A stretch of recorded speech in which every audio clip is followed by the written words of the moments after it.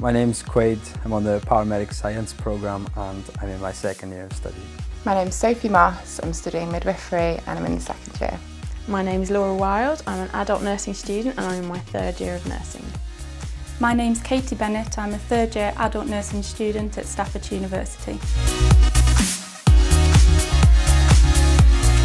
Good mentorship is inspiring a student to be the best practitioner they can be, um, giving them positive feedback and negative feedback when it's necessary and encouraging them.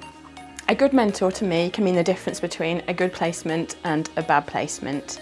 A good mentor will encourage me, will enable me to have the confidence to do things for myself.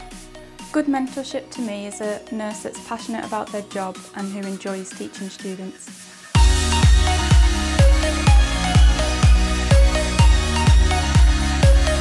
Mentors have had a huge impact on me in practice. I've had some great mentors who have been great role models.